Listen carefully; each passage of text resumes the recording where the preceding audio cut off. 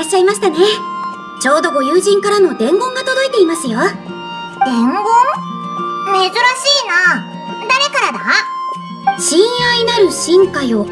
感じなさい。運命の銀紙に包まれていることを。大元無心。ん？神羅万象の瞳があなたを見つめている。うん。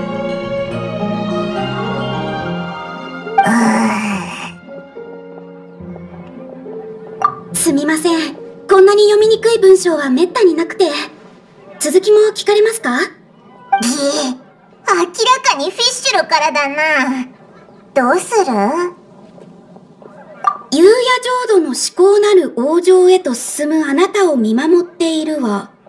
速やかに謁見に訪れ、祝福の名のもとに誓いを立て、世界の奥底へと同行なさい。とにかく、この伝言を残されたフィッシュルさんは、お二人に大聖堂前の広場まで来てほしいとのことです。お時間があれば行って差し上げてください。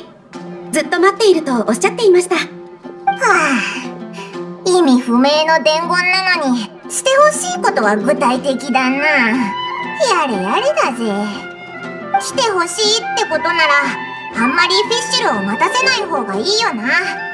早速、大聖堂前の広場に行ってみようぜ。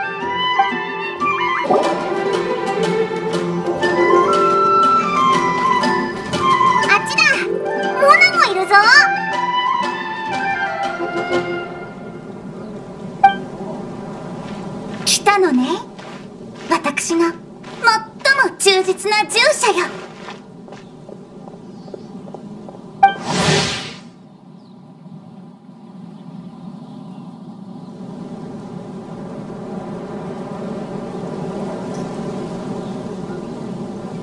さっきは進化だったのに今は従者なんですね。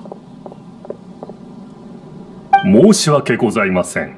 ご機嫌のよろしい時、お嬢様は大げさに話してしまわれるのです。お許しを。フィッシュルオイラたちに用があるんだろ？何を喜んでるのか、オイラにも教えろよエイヤのささやきがあなたを私のもとへ導いた。実に喜ばしきことだわこれぞ夜の祝福の恩恵よこの喜びをいざあなたと共に享受すべき。旅人さんパイモンさんご無沙汰しております。お嬢様と私からご挨拶申し上げます。お、おいらもちゃんと挨拶したかったけどどこで口を開けばいいのかわからなかったぞ。普通ここは旅人さんお元気ですか？というところでしょう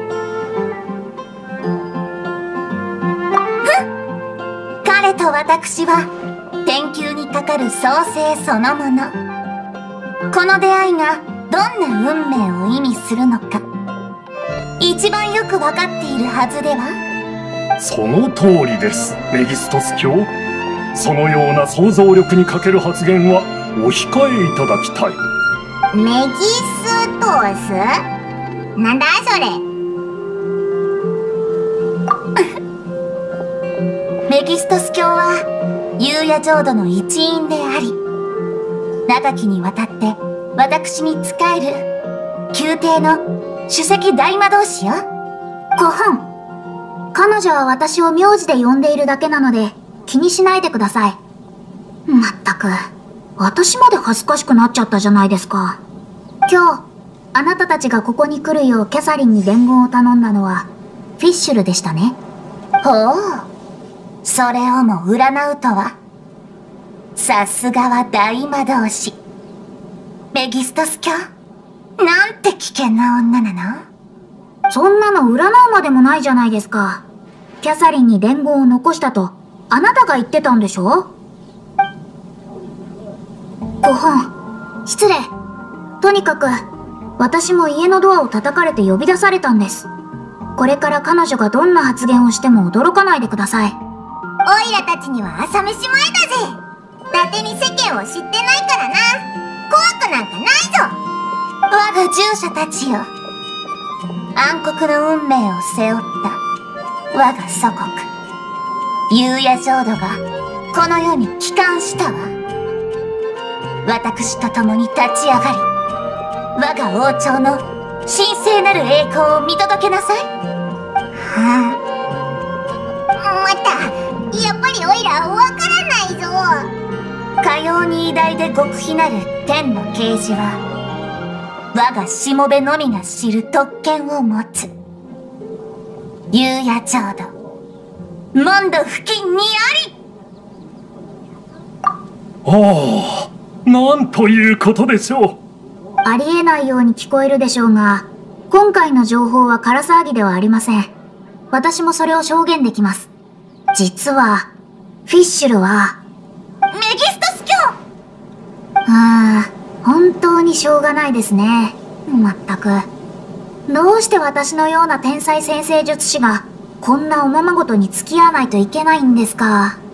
実は、公女殿下は昨日、町の外で火花騎士クレイとお会いになりました。お二人は以前からお互いのことをよく知っていたため、すぐに話も弾みました。しかし日が暮れてしまったので、公女殿下は気遣いと思いやりの精神で、クレイをモンド城までお送りになったんです。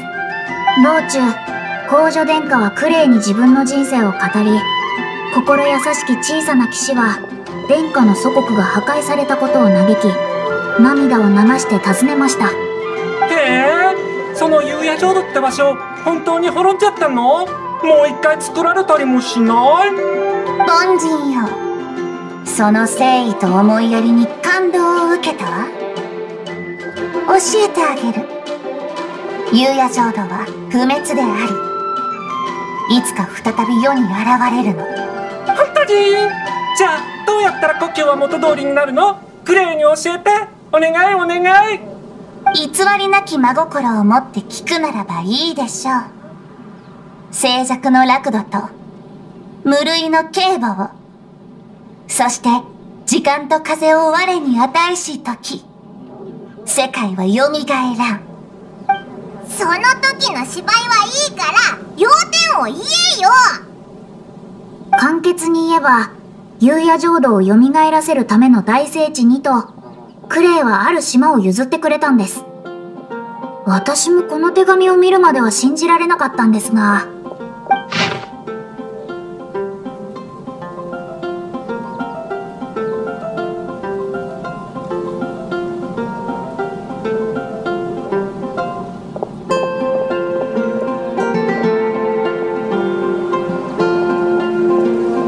皆様これは神がお嬢様に与えてくださった絶好のチャンスなのです。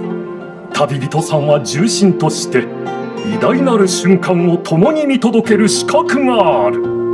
その島ってなんだか覚えがあるような。旅人何をほうけているの？夕夜の王座が呼んでいるわ。私の刃となってすべてを切り裂き、すべてを見届けなさい。彼女はただ、あなたたちを島へ誘っているんだと思います。それから、あの島については何も占わない方がいいような気が。お、なんでだ？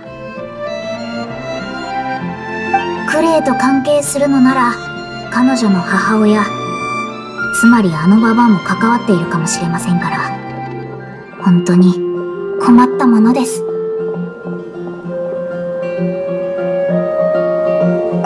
万能で旅慣れたあなたは、星屑が手のひらに落ちる奇跡を読み、雨水が運命の兆しに流れ落ちるのを目の当たりにしてきた。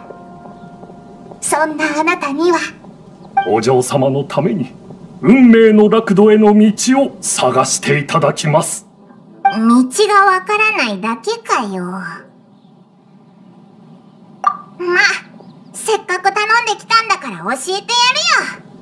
ひひ、おいらたちは、火花騎士クレイの仲間、運命の案内役だぜ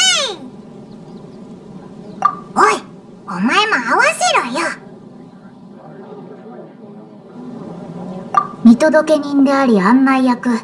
そしてゲームを紡ぐ者、すなわち旅人の登場です。い い。とてもいいわ。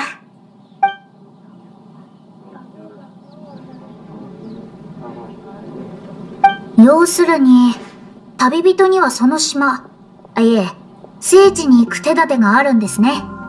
だったら、あとはお任せします。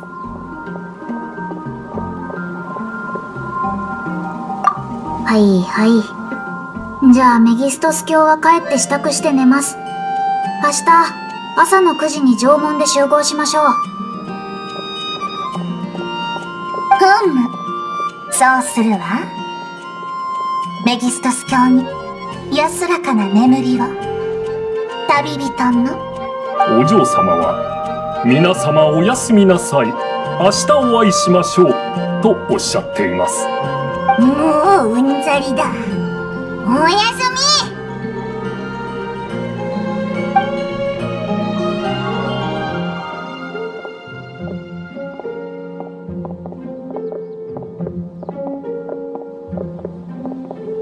おいら疲れたぞ。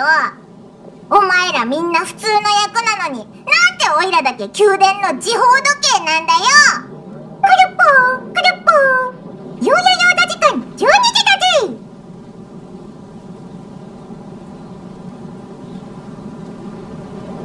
せっかく不思議な島行くんだしずば抜けた発想を持つやつに手伝ってもらいたいよな。奇想天外な発想といえばモンドではガイアを除けばあいつが一番だ。この時間なら酒場にいるはずだからすぐ出発してあいつに手伝ってもらおうぜ。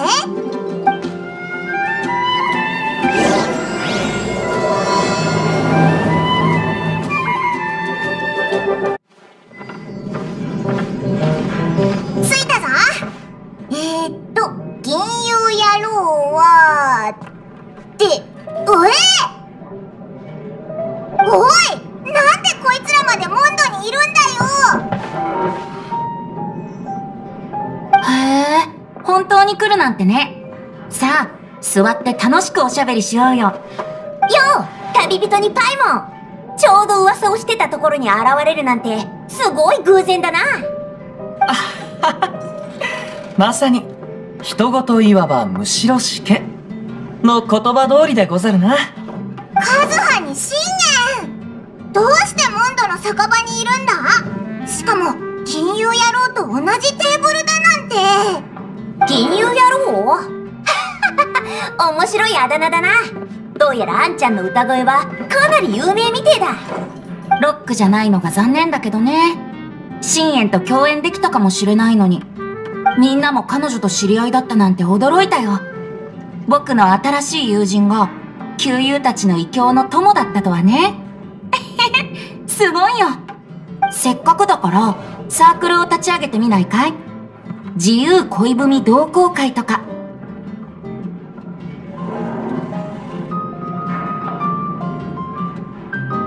ああ、あたいは曲のインスピレーションを得るために旅してきたんだ。ちょうどカズハも旅がしたいって言うから、一緒にさ。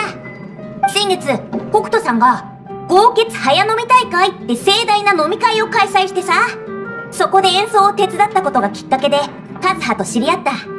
深淵殿は自由奔放に見えるが音楽に対する理解は非常に繊細かつ独特拙者たちは音楽のソウルメイトと言えるであろうそうだぜカズハは葉っぱを楽器にできるんだあたいの友人の中でも屈指の凄腕さ。リーウェを出て石門の先へまっすぐ進んだらすぐモンドだ。途中綺麗な荘園もあって素敵だったぜ。おおそういえばその荘園もオイラたちの友達の子孫なんだぜ。本当か？あんたら友達が多いんだな。あんなところに住んでるくらいだしその友達もきっと充実した人生を生きてるんだろえー、っとそうかもな。人は同じ志を持つ者同士で集まるものでござる。旅人とパイモンはそのご友人と同様良き品格を持っているのであろう。口がうまいな。いいつもオイラに突っ込んでくるこいつとは大違いだぜ。あそうだ。あんたらテイバット七国全域で開催されるイリデッセンスツアーを知ってるか？とどのつまり掛け声ばっかり大きくて一向に開催されない音楽祭なんだよな。あたい主催側に騙されたことがあるんだ。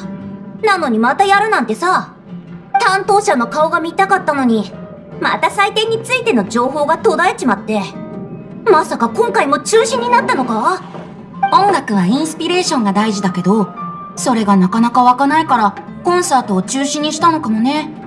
でもまあ、君たちの旅も無駄じゃなかったと思うよ。この旅で僕、つまり、生きる音楽の殿堂のところに来られたんだから。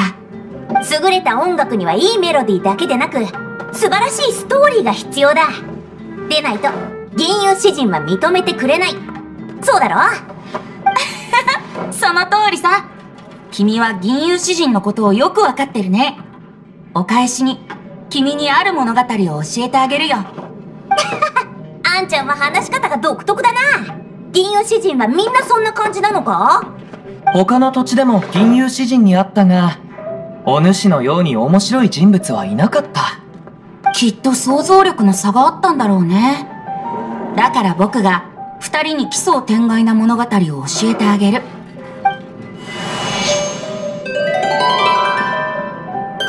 かつて海の真ん中にはエメラルドのような島があるという伝説があった。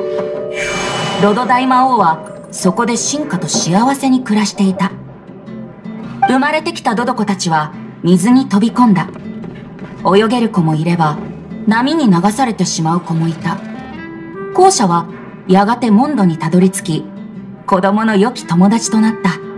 ドドコはモンドで新しい友達を作った。その名も、火花騎士。しかし、それに反対した大魔王は、小さな騎士に、島へ行って能力を証明するよう求めた。そこで小さな騎士は、一番大切な仲間たちを引き連れて、風越え波越え、海の真ん中へと向かった。けれど、そこに魔王はいなかった。魔王は嘘をついてたんだ。試練も炎も神門も、そこにはなかった。魔女である母親が作った夏の世界。それをプレゼントとして、小さな騎士に送ったのが、この島だったんだ。夏は愛の季節であり、自由と息抜きの季節でもある。だからここに来る人たちは、歌って、踊って、どうか幸せに。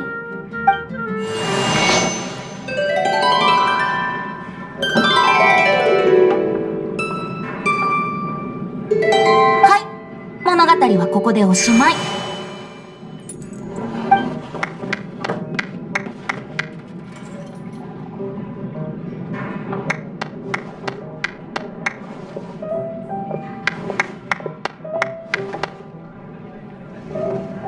実に面白い。拙者もその島に行ってみたくなった。旅は、やはり前もって計画を立ててはならぬ。心のままに行動するのが得策でござる。気に入ってくれてよかったよ。お酒を飲みながら物語を楽しむ。縁っていうのは、こういうことなんだろうね。さて音楽に乾杯旅人も一緒に飲もうよ安心して。飲めない人向けに、ジュースも用意してあるから。ならばそれを一杯頼む。うむ。この色のものにしよう。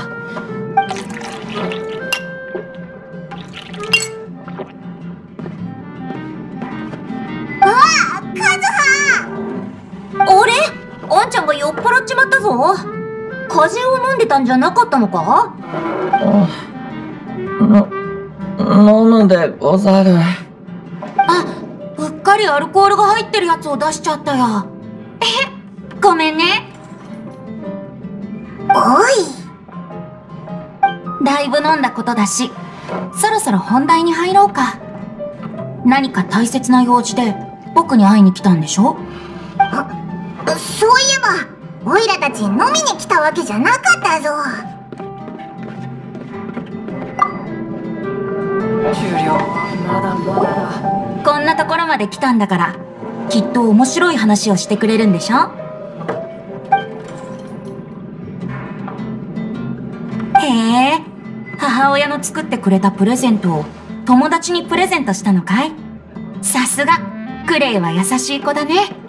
君たちもわかってると思うけど、あの手紙は間違いなくアリスさんが書いたものだよ。やっぱりそうなのか。それだけじゃない。今日酒場に来る途中で、ある二人に会ったんだけど、誰だと思う？ああ、神団長？それか、図書館司書のリサ？長いエルフの耳を持った、びっくりするほど可愛い性格の親子だよ。アリスとクレピンポーン。大当たり不老の魔女が小さな騎士を連れて休暇に出かけていたところを、たまたま僕が通りかかった。すると、魔女は挨拶代わりに、僕にプレゼントをくれた。面白い友達に出会ったら、プレゼントをシェアするように言われたんだ。だから、これを君にあげる。うわ爆弾中身を引っこ抜いてあるから爆発なんかしないよ。ほら、持っておいて。これを使うと、離れていてもこうやって話ができるんだ。ドド通話機って言ってね。何千キロ離れていたとしても、連絡を取り合うことができるけど、いつでも使えるわけじゃない。回数制限もあるから、ここしばらくで縁のある人にあげるつもりだったんだ。異世界からインスピレーションを受けた発明なんだって。さすがアリスさんだよね。彼女とクレイから、これを持って、仲間と一緒に島、いいえ、聖地に行って、楽しんできてね。って言われたんだ。生き方については、考案者さんが考えてくれてるから心配しなくて大丈夫だよ。縄文を出て橋を渡り、右に曲がると、幸せをもたらす何かに出会えるはずさ。なんだかお前もグルな感じが。そんなわけないだろ？君は僕のことをそんな奴だと思っているのかい？旅人。君は僕の友人だ。友人として君が喜ぶものをプレゼントするのは当たり前でしょ？なのにそんな風に思うなんてひどいよ。まあ、銀融野郎はデタラメも言うけど、オイラたちにとっては大切な友達だ。オイラもちょうど休暇を楽しもうと思ってたところだったしな。ひひ。そういえば、さっき、カズハとシンエンも興味津々だったよな。一緒に来ないか聞いてみたらどうだ？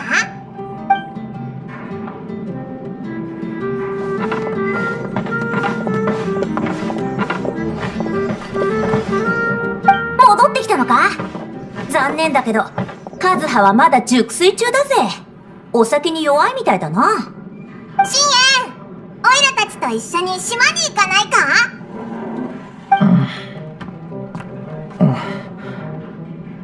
冒険ならぬ。え？行きたくないのか？さっきまで興味津々だったのに。の機会を逃して。ならぬ。カズハのやつ大人っぽいって思ってたがちゃんと新しいものに興味を持つ若者だったんだな。だから果汁とお酒の区別がつかなくなっちまったんだ。それなら絶対島に行くべきだよ。あの島には銀融詩人も絶賛する美しい景色があるんだ。おおじゃあ決まりだな。でもどうやって行けばいいんだ？誰かが手配してくれてるらしいぞ。今回は他の友達も一緒なんだけど。明日の朝縄文に集合して全員揃ったら出発するんだ。旅人？そうだ。こいつらまだフィッシュルを知らなかったよな。えっ、と異国の高貴な公女も進化たちを連れて旅に出るんだけど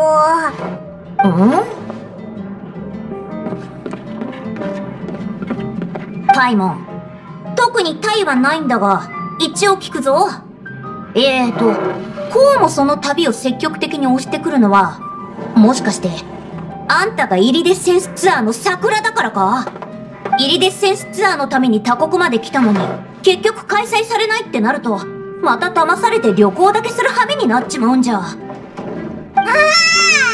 ぱり誰も信じてくれない みんな心配しないで。また明日の朝会おうよ。公女も進化も喋るカラスも、異教の剣士とミュージシャンも、みんな夏の島の大事なお客さんさ。ワクワクしてきたぜ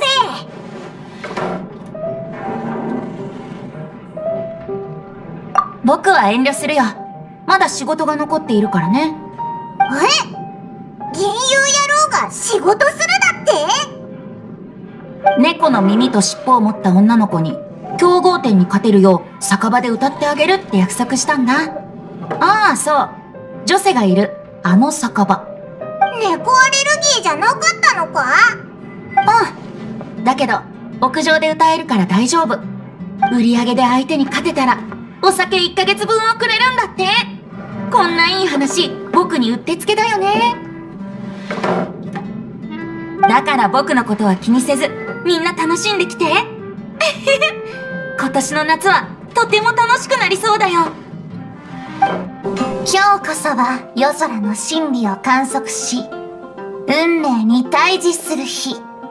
過去の恥、往年の憎しみ。ここにて、結論を下すお嬢様恐れながら何とかを下すというセリフはお嬢様のキャッチフレーズではないようですが。もちろん違うわ。私は、ただそれを耳にして、お、このセリフは、大陸中の知恵と勇気ある言葉の中から、今日の特別さを示すため、んどれどれ？ああ、本当に他人の口癖じゃないですか。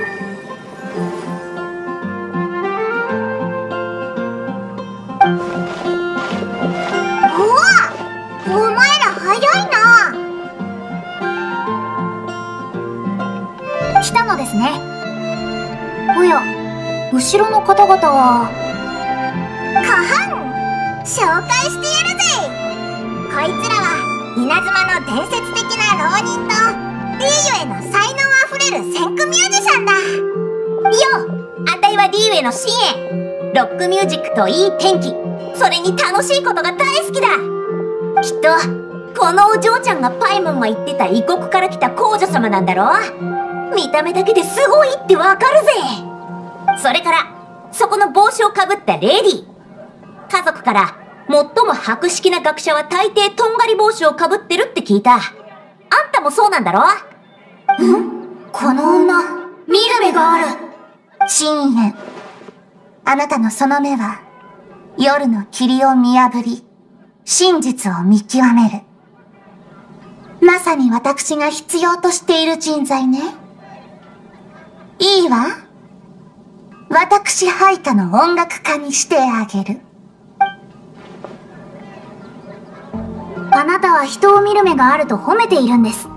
まあ、私も同じ意見ですよ。はじめまして、先生術師のモナです。おう二人に会えて嬉しいぜモナはすごいんだぜどんな人でもたちまちどんなやつか見抜いちゃうんだ。公女殿下と先生術師。そして雄弁なカラスの進化。お主たちに比べれば拙者はただの凡人でござるよ。稲妻の楓原和葉皆に会えて光栄でござる。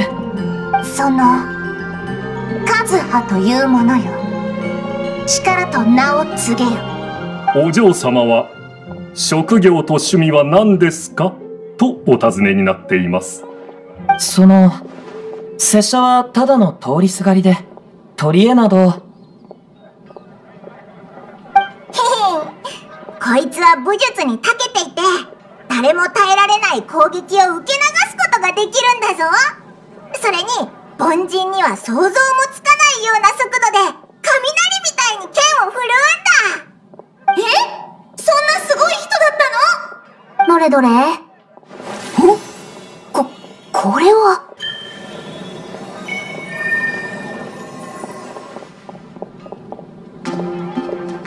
カズハさんのような剣の達人にお会いできてとても光栄です。みんなの護衛をあなたに任せてもいいですか？夕夜浄土の宮廷守衛長に任命するわ。メギストス教までそうおっしゃるとは実力は確かなのでしょう。わかった。めめめ、め、なんだっけ？オーナーでいいですからその変な名前で呼ばないでください。そういえばメギストス教オイラたちどうやって聖地に行けばいいのか聞いてきたぜ。ひひ伝説の大魔女から偉大なアドバイスをもらったんださあみんなオイラを見ろ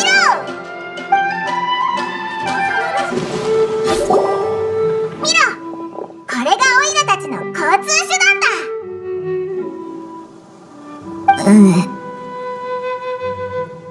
うんなんだか急に行きたくなくなりました。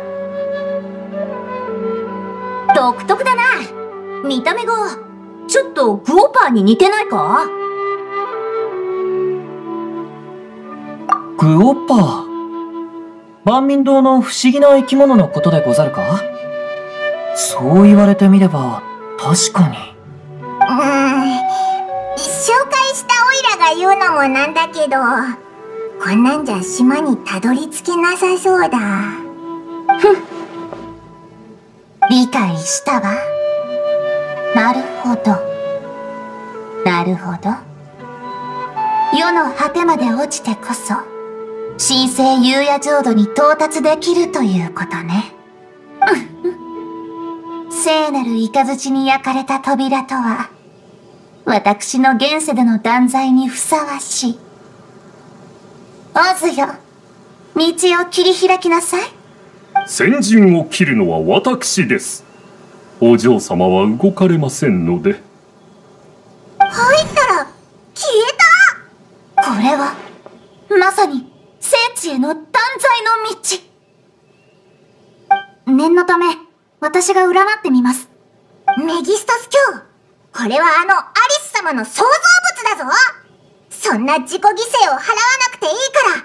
オイラたちと一緒に来い。そうでした。忘れてしまうなんてまあいいでしょう。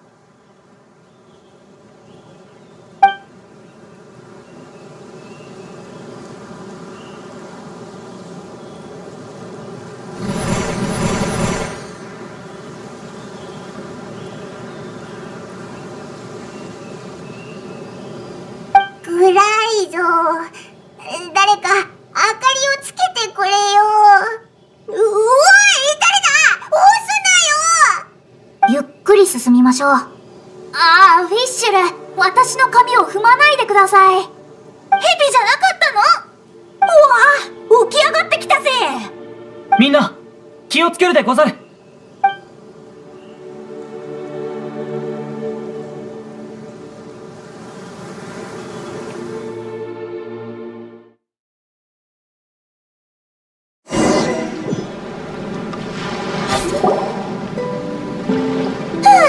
やっと着地したぜ。さっきのは一体何だったんだ？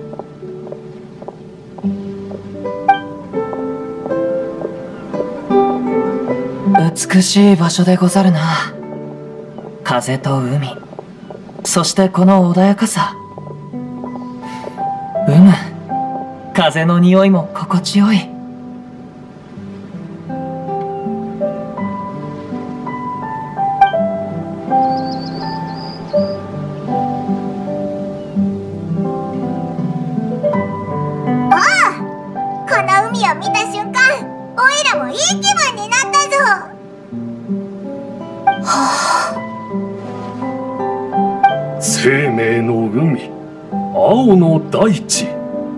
お嬢様ついに楽土にたどり着きましたね。夕夜浄土を復活させるには十分な場所です。進化諸君これぞ私が長年求めていた粛清の楽園。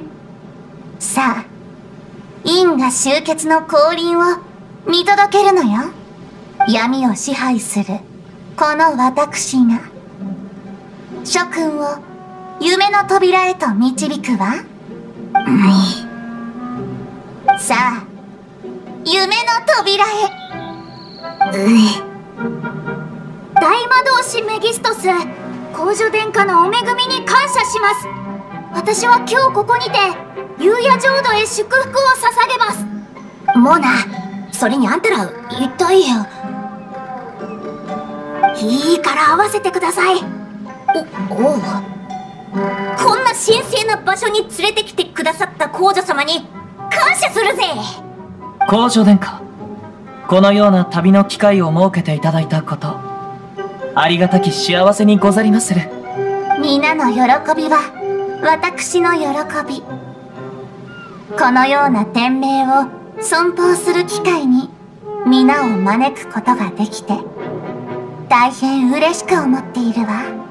これより巡礼の旅に出かけ身をもって国土の命の海を感受する。何せここはどうあっても私の魂の帰る場所なのだから。けれどそれに対してメギストス教？あなたは水元素から生まれた高貴な人物と言われる割に魂の不純物が多すぎる。お嬢様は泳ぎに関してはメギストス教がやや劣るかもしれないとおっしゃっています。フィッシュルあなたにはもう我慢できません。普段あなたに合わせて芝居をするのは構いませんが天才である私を見下してはいませんか？泳ぎであなたに負けるわけがないですよ。おおお嬢様の闘志が燃えてきました。いいぞ。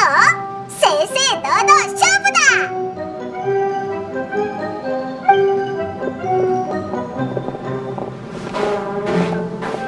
その挑戦受けて立ちましょう。メギストス教あなたごときが私に挑むなんてその愚かさを食いることになるわよ。無駄口はよしてください。私は子供の頃から泳ぎで負けたことがないんです。さあどちらが先に海までたどり着けるか勝負です。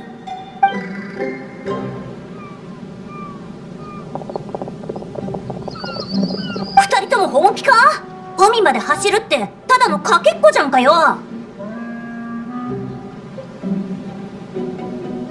お主は今空いてるか？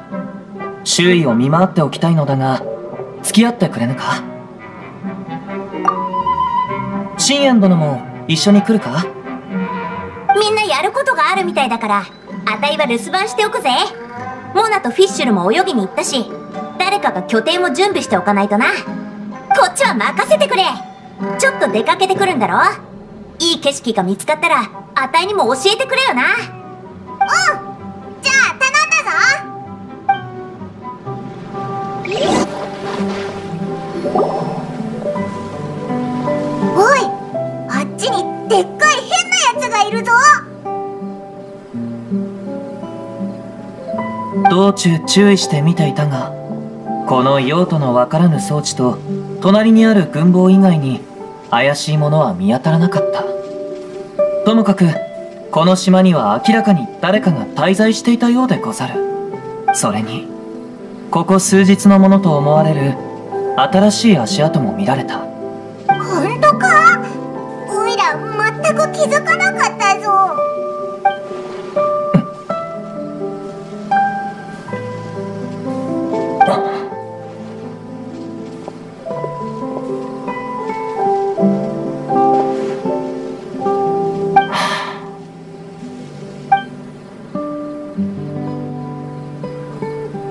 旅人パイモン。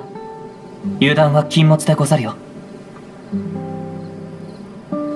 うしたんだ何かあったのか？誰かがここに来ていた。そしてかの者はまだ去ってはいない。匂いからして相手も遠来の客であるはずだ。他にも誰かいるのか？えー、なんだか怖いぞ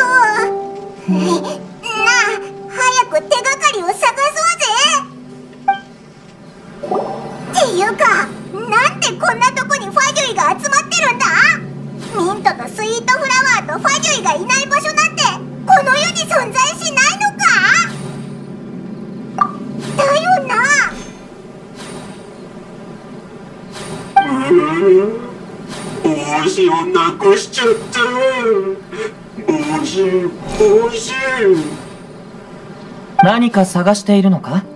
帽子ダメだなくすわけにはいかない。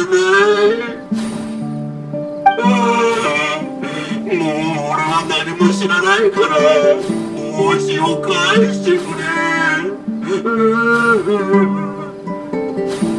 この帽子をお探しでござるか？T さんの帽子だ早くよこせ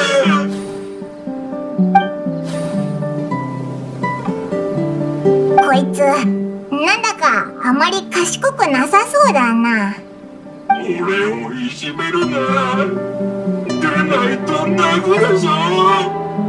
うわでっかい怪物。やめろ。何しやがる。またファジョイか？それはこっちのセリフだぞ。お前たち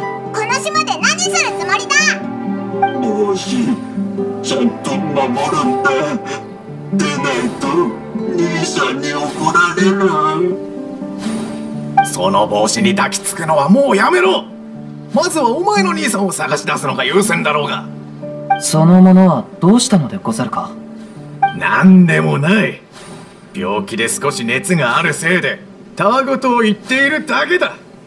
お前らに説明する義理などない。帰れここはオイラたちの友達の島だから気をつけた方がいいぜ。ああここは無人島じゃなかったのか。俺たちはここに。いや何でもない。別に教えてもいいが知ったらもう俺に構うなよ。あれは俺の発明した新エネルギー装置だ。無人島に来たのはこいつの性能をテストするため。それだけだ。もういいだろ。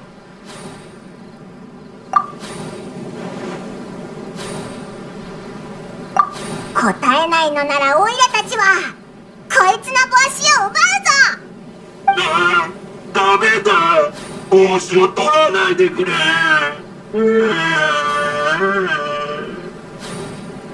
おい泣くなよ。分かった。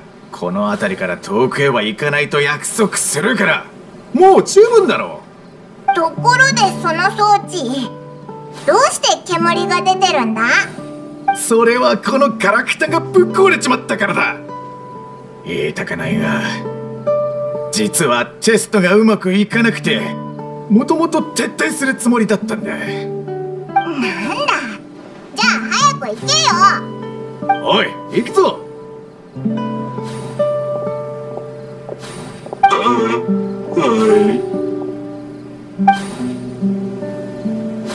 まったくせっかくの休暇なのにこんな奴らと出会うなんて。ファデュイがこのような偏僻な島に現れるとは。ことはそう単純ではない気がするでござる。休暇中とはいえ常に警戒を怠らぬように。またあちらの女子たちの機嫌を損ねないために拙者から一つ提案があるのだがこの件は当分の間心に留めておこう。注意や警戒が必要なことについては旅人と拙者が責任を持って対応する。良いでござるか？カズハは思いやな過方でござるよ。拙者はただせっかくの休暇がつまらぬことに邪魔されないことを願うのみ。美形の前に皆には幸せな気分でいてもらいたい。帰ってきたぞ。ちょうどいいところに来てくれました。旅人、ファイモン。あなたたちは私とフィッシュル、どちらが泳ぎ上手だと思いますか？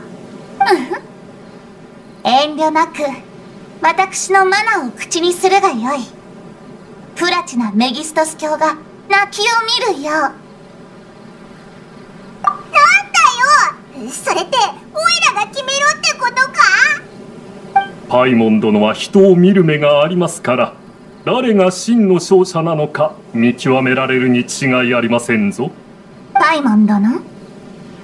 私に忠誠を誓う時が来たようね。ちょっと待って。その前にパイモンに何か食べさせてあげようぜ。長い間出かけてたからきっと腹ペコなんだ。信うむ。確かに長い距離であった。だろあんたらが出かけている間海辺で海鮮を釣って果物を取ってたんだ。火で炙るときっと美味しくなるぜそういえば、少しお腹が空いてきました。うん私もたくさん用意したから一緒に食べようぜ。店をやってる料理人の友達にはかなわねえけどさお腹を満たすには十分だと思うんだ。食べようぜ。信玄殿を島に招いたのは間違いなく賢明な判断でしたな。オイラもう食べるぞ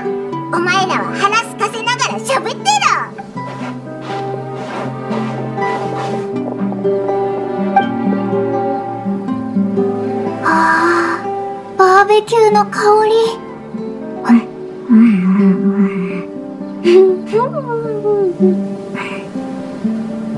とっても美味しいです。うん。悪くないわ。今日は信玄殿が夕げを作ってくれたゆえ明日の朝げは拙者が作るでござるよ。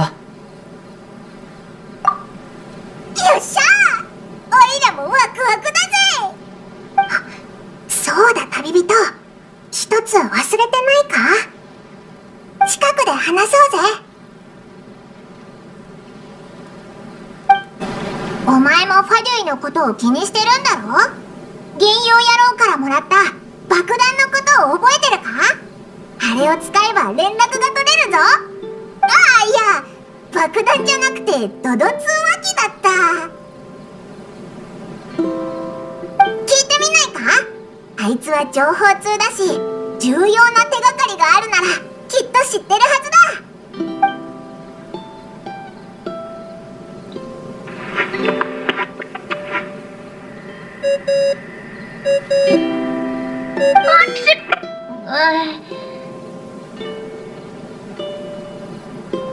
おや、もう僕に会いたくなったのかい？こんな方法で僕と連絡を取れるのは君だけだよ。さっきくしゃみしてたよなキャッチテールの周りは猫がたくさんいるんだよ。オーナーがアレルギーの薬をくれたんだけど、あまり効かなくて、あちてって。はあ。さて、どうしたんだい？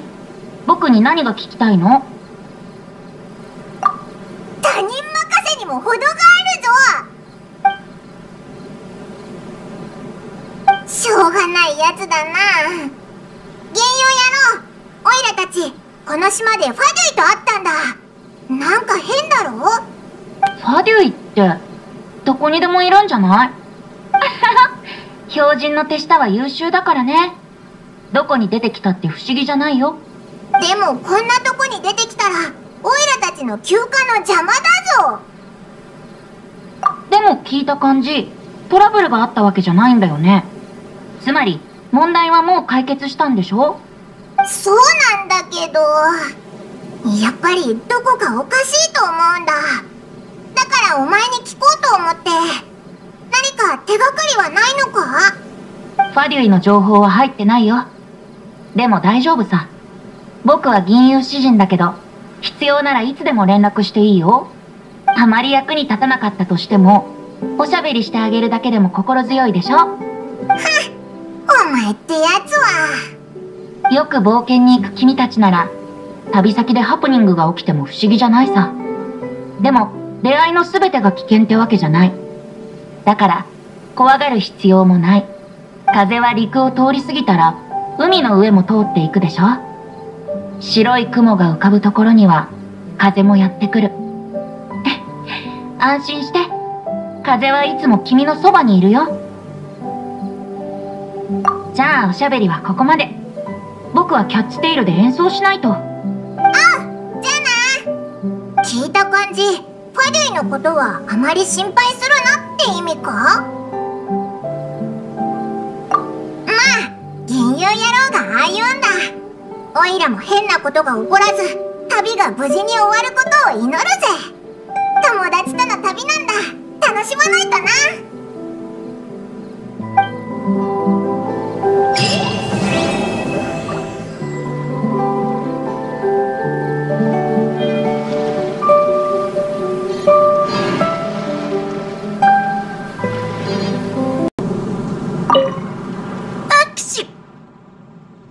ああ、やっぱり猫に近寄りすぎちゃいけない。屋上で待とう。